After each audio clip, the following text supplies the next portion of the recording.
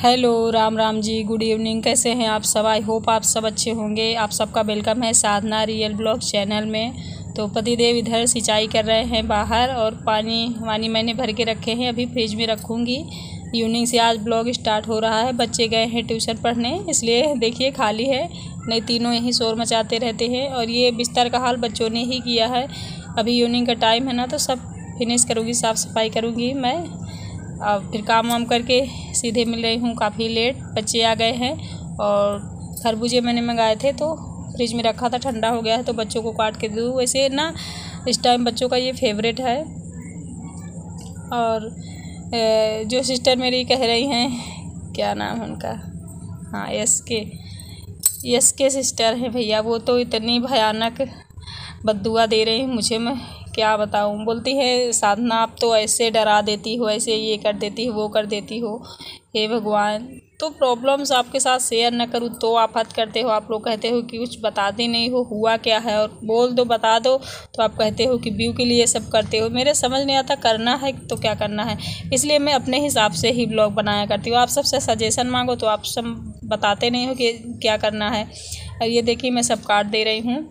वो बोल रही थी कि, अरे, मैं तो आज से तुम्हारा ब्लॉग ही नहीं देखूँगी अनसब्सक्राइब कर दूँगी। ये देखिए, बच्चे सब खा रहे हैं। अब मैं जा रही हूँ चाय बनाने और म्यूट कर रखा है। ये लोग डांस कर रहे हैं, बच्चे। खरबूजा खा के गए हैं। लगा के वो डेग साउंड बुफर उसमें डांस करें सब लोग। बोल रहे हैं, बेटा, मैं यहाँ वीडियो बना रही हूँ तो आप लोग अब बाद में डांस करना। वो लोग बोले, नहीं मम्मी, आप बाद में वॉइस ओवर करिएगा।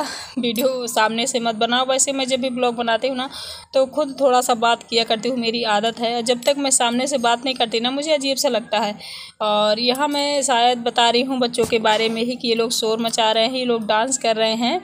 और मैं बात कर रही हूँ, शायद ये ब्लॉग डाल पाऊँगी कि नहीं। यही सारी बातें शायद मैं आप लोगों से कर रही हूँ और चाय भी अपनी बलका रही हूँ, यानी बन रही है। इस टाइम ना इतनी ज़्यादा बिकराल वाली गर्मी पड़ रही है फ्रेंड्स की, क्या बताऊँ? और आप सपना मेरा सपोर्ट इस टाइम कम कर रहे हो, मेरे व्यूज़ डाउन जा रहे हैं। तो प्लीज़ एवरीवन फ्रेंड्स जो कोई मेरे चैनल में न्यू आता है वो सब्सक्राइब कर ले और फुल वीडियो देखिए थोड़ा सा शेयर भी कर दीजिए जिससे ना थोड़ा सा मेरा भी सपोर्ट होता रहे क्योंकि आप सबका ना सपोर्ट बहुत ज़्यादा ज़रूरी है। आ, हम मैं ये चाहती हूँ जो बड़े यूट्यूबर्स हैं बहुत बड़े हो जाए और आगे जाएँ लेकिन हम जैसे यूट्यूबर्स को भी थोड़ा सा और आगे ले जाइए। और मैं आप लोगों से बातें कर रही हूँ कि मेरी चाय बन रही है मैं चल रही हूँ ये देखिए बलक रही है मैं कुछ दूसरा काम करने चली गई थी। और बच्चों के पास फ़ोन रहता है ना, वो गेम वेम खेलते रहते, थोड़ा बहुत रिकॉर्ड कर लेती है। और ये सिर्फ़ एक कफ चाय है जो बन रही है।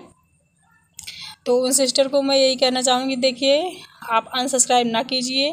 अगर ब्लॉग में कोई प्रॉब्लम हो तो आपने बताया है, मैं उसे और अच्छा करने की कोशिश करूँगी, लेकिन अनसब्सक्राइब ना कीजिए, ना अनफॉलो कीजिए, और ये मत कहिए कि मैं आपका ब्लॉग बिल्कुल नहीं देखूँगी, क्योंकि मेरे हिसाब से एक एक इंसान इंपॉर्टेंट है हमारी लाइफ में, हमारे वीडियो देखने में हेल्प करने में तो मैं ये बिल्कुल नहीं कहूँगी कि सिर्फ़ आप नहीं देखोगी तो मेरा वीडियो नहीं चलेगा। नहीं सिस्टर आप नहीं देखोगे तो बिल्कुल कम चलेगा, क्योंकि एक एक इंसान हमारी लाइफ में बहुत इंपॉर्टेंट है। कभी भी घमंड में आके ये नहीं बोलना चाहिए, अरे अरे, चलो चलो, इसका क्या ज़रूरत है? ये कौन से खेत की मूली है? ये, वो। ऐसा मैं ना बोलती हूँ, ना मैं चाहती हूँ कि कोई बोले। सिस्टर तो आप बिल्कुल ना सब्सक्राइब करिएगा, मेरी वीडियो ज़रूर देखिएगा क्योंकि एक एक सब्सक्राइबर से बहुत फ़र्क पड़ता है मुझे। और देखिए, आज ना चूल्हे में खाना बन रहा है। क्यों? क्योंकि आज सब खाने का बिल्कुल मन ही नहीं था किसी का, गैस की रोटी खाने का तो पति देव बोल रहे थे, चलो मैं लकड़ी निकालता हूँ और तुम रोटियाँ बनाओ। तो उन्होंने चैला निकाल दिया, हम लोग चैला बोलते हैं लकड़ी को। तो उन्होंने निकाल दिया है अच्छे से कुल्हड़ से। कुल्हड़ी, कुल्हड़ क्या कहते हैं? तो फिर अच्छी अच्छी रोटियाँ मैं बना रहे हूँ फूली फूली और काफ़ी दिन बाद मतलब सात हाँ सात आठ महीने बाद ये चूल्हे की रोटी मैं बना रही हूँ तो उतनी अच्छी तो नहीं बन रही है, बट खाने में मज़ा आएगा। और ये नाइट का टाइम है, बज रहे हैं साढ़े सात, आठ बज रहे होंगे। घड़ी तो मैंने नहीं देखी। इतना ख़राब मेरा चूल्हा है, आप लोग प्लीज़ हंसीएगा नहीं। क्योंकि कोई कोई ना भी हंसने भी लगता है। मेरी आदत है, मैं जो रियलिटी मेरी होती है, मैं वही दिखा देती हूँ। और कौन हंसता है, कौन क्या कहता है, वो सब फिर मैं बाद में जब आप लोग कमेंट करते हो तो उसमें कुछ अमल करती हूँ। लेकिन एक्स्ट्रा बढ़ावा या कम मैं नहीं दिखाती, मेरी आदत नहीं है। देखिए, गर्मा गर्म रोटियाँ बन गई हैं। ये सब्ज़ी भी मैंने चूल्हे में ही बनाई है और कसम से इतनी यम्मी सब्ज़ी बनी थी भी मैं वॉइस ओवर कर रही हूँ। जब हम लोगों ने खाया था रियली में बहुत अच्छी बनी थी, जो कि केवल आलू, टमाटर की सब्ज़ी है बट सो यम्मी मतलब बहुत अच्छी बनी थी। चूल्हे का एक फ्लेवर ही अलग होता है खाने का, पता नहीं क्यों।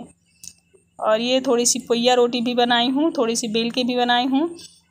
बस खा पी चुके आज बहुत जल्दी खा लिए हैं। नौ बजे हम सब खा चुके हैं, क्योंकि चूल्हे में बन रहा था ना तो गर्मा गर्म सब लोग खा रहे थे। थोड़ा सा एक्साइटेड थे खाने में बच्चे।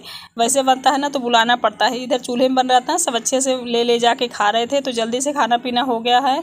तो तेल रखा था इधर उधर, जिसका ढक्कन ख़राब था तो मैंने सोचा इसमें डाल देती हूँ रिफाइंड ऑयल है ये। और ये सारा काम मैं सोचती हूँ कर लूँ, क्योंकि अभी से नींद तो आएगी नहीं। और बच्चे शायद रिकॉर्ड कर रहे हैं, कुछ बोल रहे हैं, समझ में नहीं आ रहा मेरे, क्योंकि चूल्हे में रोटी बनाते बनाते हालत ख़राब हो गई बुद्धि काम नहीं कर रही है। तो समझ नहीं आ रहा, लेकिन कुछ बोल रहे हैं वो शायद। और बच्चे जब चिल्लाते हैं ना तो मुझे इतनी ज़्यादा गुस्सा आती है रियल में।